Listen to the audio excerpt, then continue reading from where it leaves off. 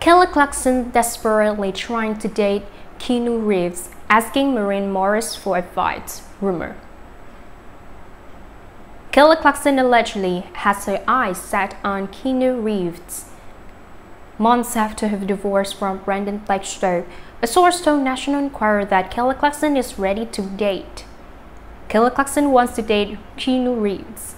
In fact, she has allegedly been asking a friend, Maren Morris, for advice on how to attract men. Morris allegedly encouraged Clarkson to connect with a man that she admires. The insider claimed that Clarkson seemed to take Morris' advice quite literally because now she's trying to get Reeves' attention. The Matrix star is allegedly Clarkson's childhood crush. And even though she knows that Reeves is dating Alexandra Grant, this hasn't allegedly stopped from her reaching out to the actor. Kelly may have taken advice a little too literally. She had her childhood crush, Keanu Reeves, on the show and was drooling over him. If Keanu has a shred of interest, she will be the happiest woman in the world. Though she it's probably wishful thinking, the source say.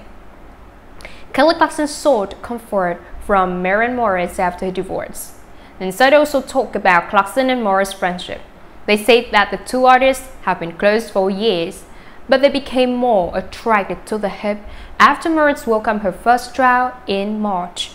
Following the split from Blackstock, Kelly Clarkson and Morris allegedly talked to each other on the phone for hours, and Morris allegedly provided support and strength during Clarkson's darkest hours. Now, she's on the prowl asking her new bestie about how she can dive back into the dating pool, the source say. Rumors debunk However, one should take the tabloid's claims with a grain of salt. Clarkson hasn't said anything about wanting to date again just months after she filed for divorce from Blackstock. But the American Idol recently opened up about the split by saying that she doesn't want to share details to protect her kids. What I'm dealing with is hard and because it involves more than just my heart.